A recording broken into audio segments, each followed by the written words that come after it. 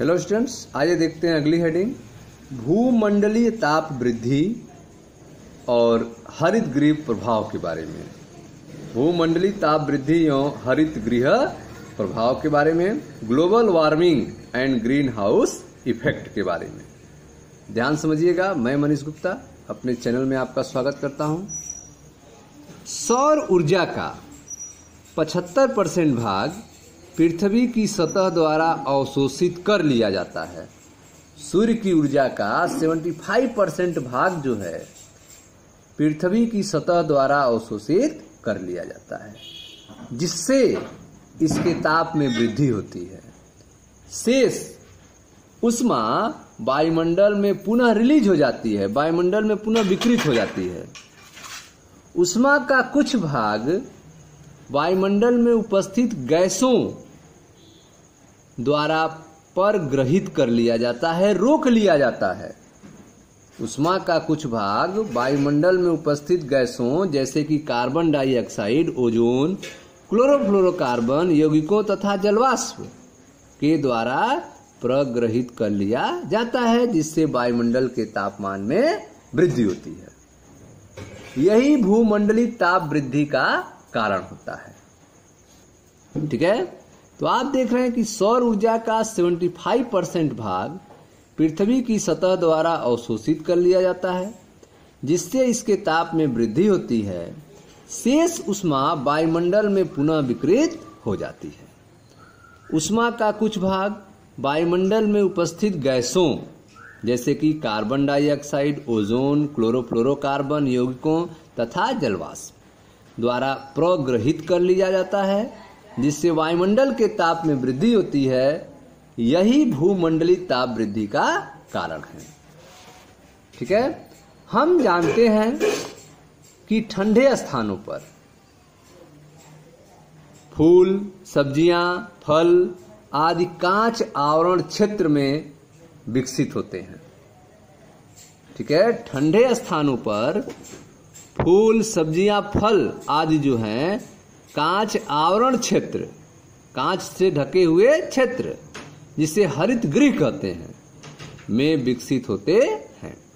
क्या आप जानते हैं कि हम मनुष्य भी हरित गृह में रहते हैं? यद्यपि हम किसी कांच द्वारा ढके नहीं रहते हैं। तथापि वायु का एक आवरण, जिसे वायुमंडल कहते हैं, शताब्दियों से पृथ्वी का ताप स्थिर रखे हुए परंतु आजकल इसमें धीमा परिवर्तन हो रहा है। वायुमंडल में धीमा परिवर्तन हो रहा है।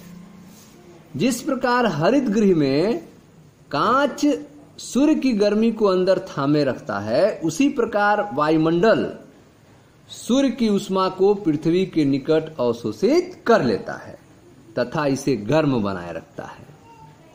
इसे प्राकृतिक हरिगृह प्रभाव कहते हैं। ठीक है? तो जिस प्रकार हरित गृह में कांच जो है, सूर्य की गर्मी को अंदर थामे रखता है, उसी प्रकार वायुमंडल जो है, सूर्य की उष्मा को पृथ्वी के निकट अवशोषित कर लेता है तथा इसे गर्म बनाए रखता है। इसे प्राकृतिक हरित गृह प्रभाव कहते हैं, क्योंकि यह पृथ्वी के तापमान की रक्षा करके जीवन योग्य बनाता है।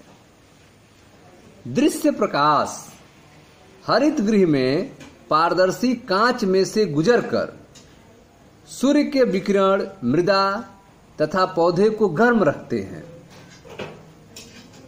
दृश्य प्रकाश जो है, हरित गृह में पारदर्शी कांच में से गुजरकर सूर्य के विकिरण, मृदा तथा पौधों को गर्म रखते हैं। गर्म मृदा तथा पौधे उष्मी क्षेत्र के और रक्त विकिरणों का उत्सर्जन करते हैं। गर्म मृदा तथा पौधे जो हैं, वे उष्मी क्षेत्र के और रक्त विकिरणों का उत्सर्जन करते हैं। ठीक है? तो आप देख रहे हैं कि दृश्य प्रकाश दृश्य प्रकाश हरित गृह के पारदर्शी कांच में से गुजरकर सूर्य के विकिरण मृदा तथा पौधों को गर्म रखते हैं। इसके विपरीत गर्म मृदा और पौधे जो हैं, उसमें क्षेत्र के औरक्त विकिरणों को, औरक्त विकिरणों का उत्सर्जन करते हैं। चूँकि इस विकिरण के लिए कांच अपारदर्शक होता है। औरक्त विकिरण के लिए कांच जो होता है, अपारदर्शक होता है। अतः यह इन विकिरणों को आंशिक रूप से अवशोषित तथा शेष को परावर्तित करता है। यह क्रियाविधि सौर ऊर्जा को हरित गृह में संग्रहित रखता है। यह क्रियाविधि जो है, सूर्य के ऊर्जा को हरित गृह में स्टोर रखता है। इसी प्रकार कार्बन डाइऑक्साइड के अणु जो हैं, उष्मा को संग्रहित कर लेते हैं, क्योंकि ये सूर्य के प्रकाश के लिए पारदर्शक होते हैं। उष्मा विकिरण के लिए नहीं।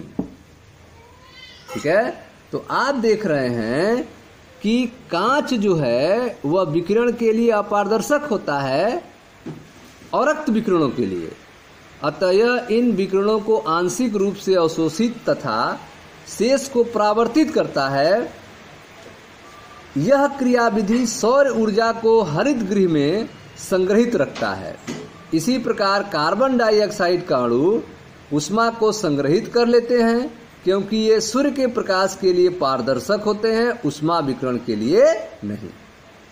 यदि कार्बन डाइऑक्साइड की मात्रा दशमलव ज़ीरो तीन परसेंट से अधिक हो जाती है तो प्राकृतिक हरित गृह का संतुलन बिगड़ जाता है। यदि कार्बन डाइऑक्साइड की मात्रा दशमलव ज़ीरो तीन परसेंट से अधिक हो जाती है तो प्राकृतिक हरित गृह का संतुलन बिगड़ जाता है। भूमंडलीय ताप वृद्धि में कार्बन डाइऑक्साइड का विशिष्ट योगदान होता है। भूमंडलीय ताप वृद्धि में कार्बन डाइऑक्साइड का विशिष्ट योगदान होता है। कार्बन डाइऑक्साइड के अतिरिक्त अन्य हरित गैसें, जैसे कि मेथेन जलवास नाइट्रस ऑक्साइड, क्लोरोफ्लोरोकार्बन तथा ओजोन होते हैं।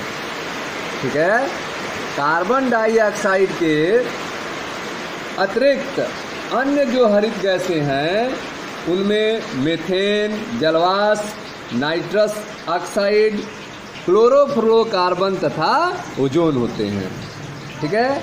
ऑक्सीजन की अनुपस्थिति में, ऑक्सीजन की अनुपस्थिति में जब वनस्पतियों को जलाया, पचाया अथवा सड़ाया जाता है, तब मेथेन उत्पन्न होता है।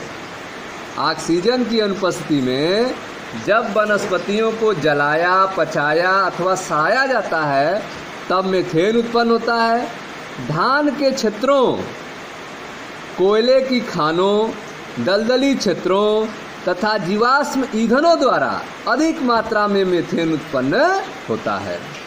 क्लोरोफ्लोरोकार्बन मनुष्य द्वारा निर्मित रसायन है, जो वायु प्रशीतक आदि में काम आता है।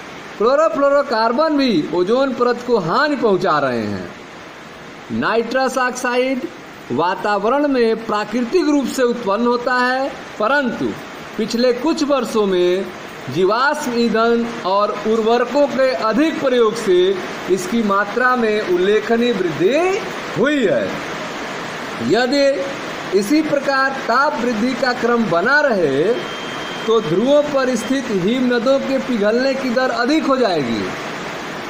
यदि इसी प्रकार ताप वृद्धि का क्रम बना रहे तो ध्रुवों पर स्थित बर्फ़ के पिघलने की दर अधिक होगी, जिससे समुद्र के जल स्तर में वृद्धि हो जाएगी, जिसके परिणाम स्वरूप पृथ्वी के निचले स्थानों में जल भर जाएगा। भूमंडलीय ताप वृद्धि के कारण बहुत से संक्रामक रोगों जैसे कि डेंगू, मलेरिया पीत ज्वर, निद्रा रोग आदि में वृद्धि हो जाती है। ठीक है स्टूडेंट्स तो यह आपने पढ़ा भूमंडलीय ताप वृद्धि और हरित गृह प्रभाव के बारे में। Thank you